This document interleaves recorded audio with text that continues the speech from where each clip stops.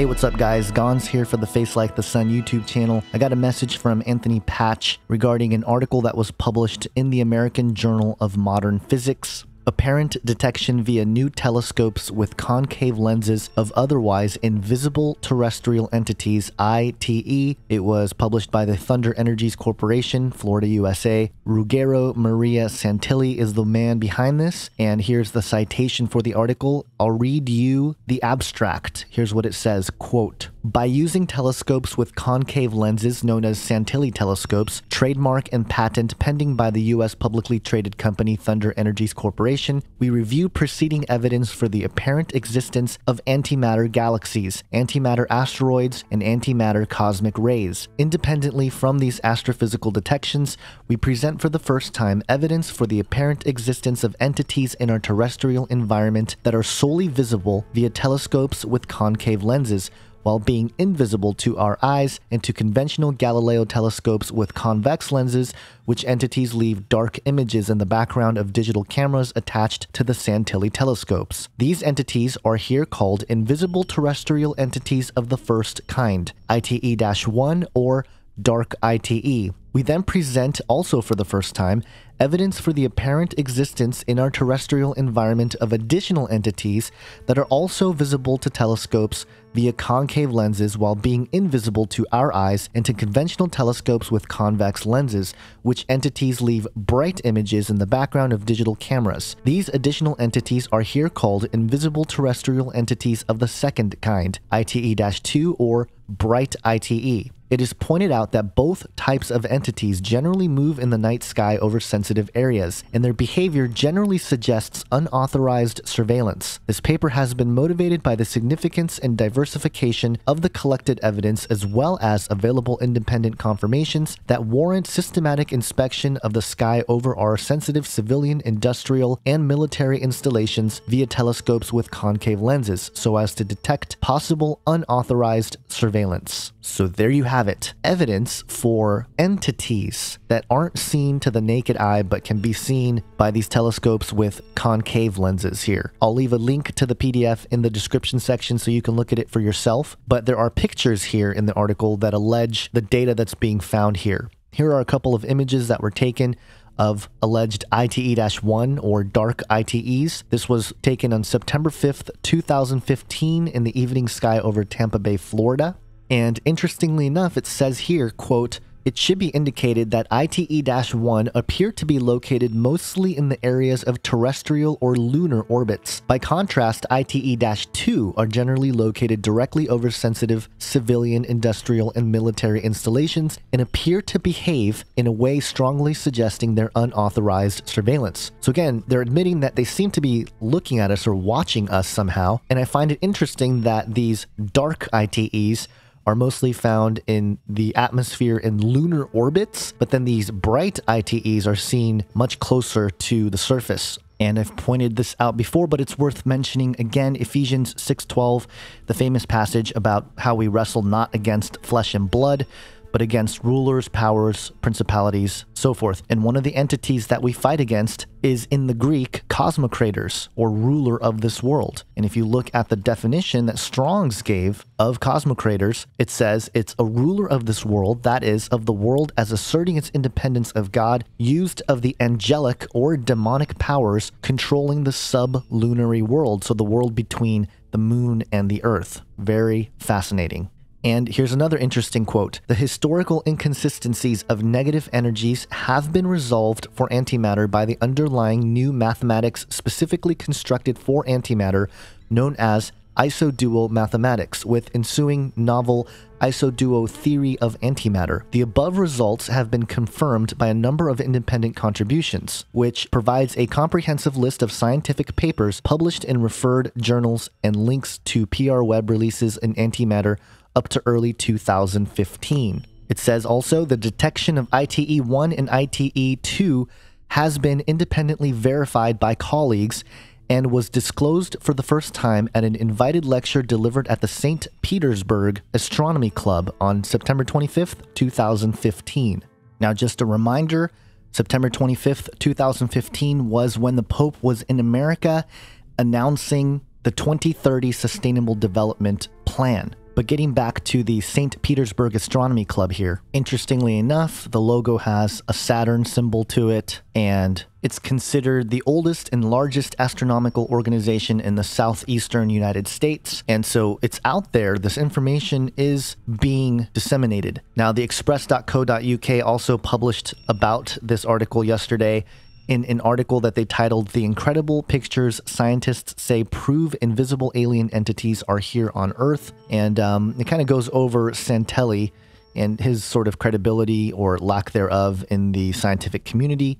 But there's a couple interesting quotes from Dr. Santilli in this article, one of them being, quote, the question of what those entities are must be answered by our government because these entities appear to be conducting unauthorized surveillance of rather sensitive civil, industrial, and military installations. Now, to those of us who've been looking at UFOs and, you know, the phenomenon for a while, we know that they've hung around nuclear facilities and they've tracked with military pilots and, and aircrafts and things like that. We've, we've known stuff like that for decades. So for him to suggest that it's the duty of the government to figure out is kind of interesting in itself. But in conjunction with this, CNN reported take a peek into CIA's X-Files. And this was something that's been trending. And the CNN report says, quote, the truth is out there. The CIA has released hundreds of declassified documents detailing investigations into possible alien life. The Central Intelligence Agency posted documents of reported unidentified flying objects that range in date from the late 1940s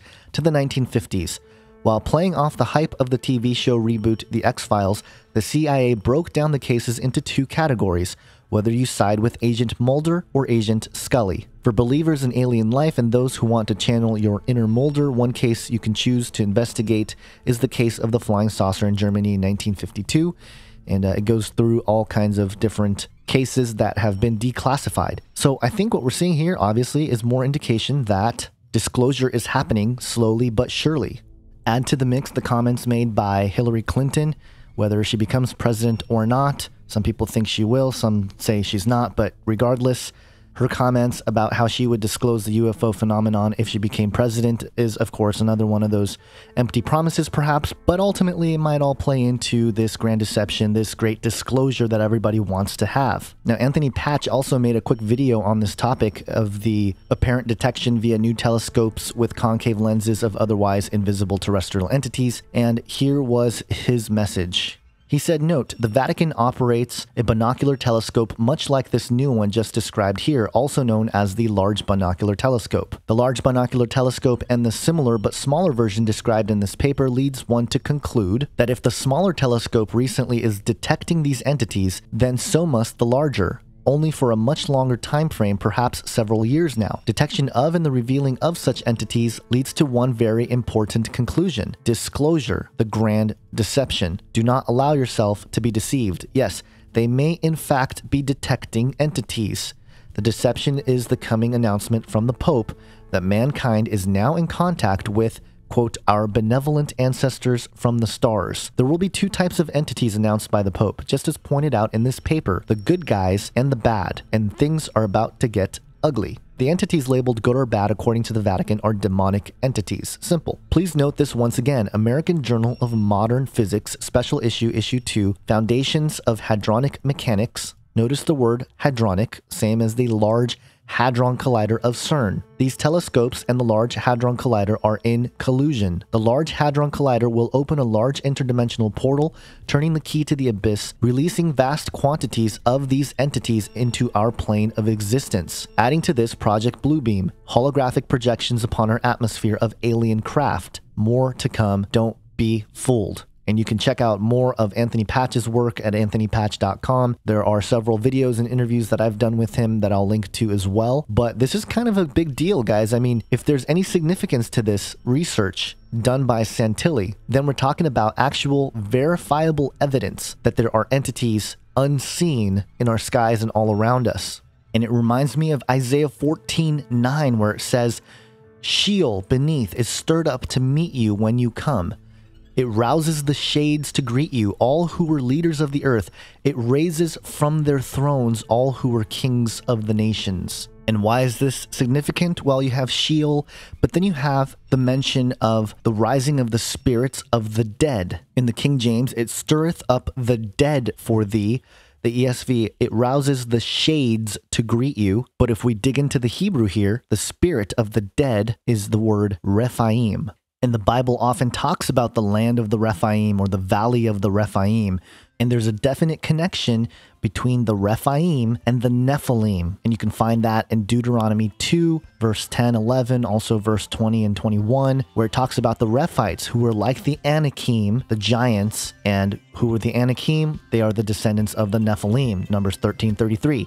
So there's a huge tie in there. And the fact that Isaiah 14 talks about this realm of the dead being stirred up, and having in concert with it the rise of the kings of the earth, of the nations. This all looks like it plays into the beast system in the end times described in Revelation 13.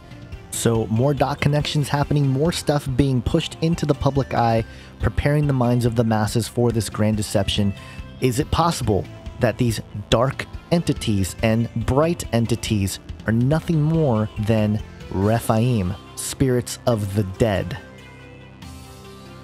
Thanks for watching my video. Please share it with friends, family, and whoever else you think might benefit from this information. And if you haven't already, please subscribe to the Face Like the Sun YouTube channel and dig around the archives. I have hundreds of videos covering topics ranging from angels, aliens, and the Antichrist to global conspiracies of the New World Order eugenics, genetics, Genesis 6, the Nephilim, transhumanism, and much, much more. And don't forget to check out my full length documentaries Age of Deceit, Fallen Angels, and the New World Order, and Age of Deceit 2, Alchemy, and the Rise of the Beast Image, all of which you can watch for free right here on the Face Like the Sun YouTube channel. And if you want even more content, check out canarycryradio.com, our podcast where we investigate similar issues and interview all kinds of experts on several different topics. In fact, we just finished episode 100, which is seven hours long, where we interview 26 people in one podcast episode. You can find the podcast at canarycryradio.com or go subscribe to the Canary Cry Radio YouTube channel. Again, thanks for watching and have an awesome day. God bless.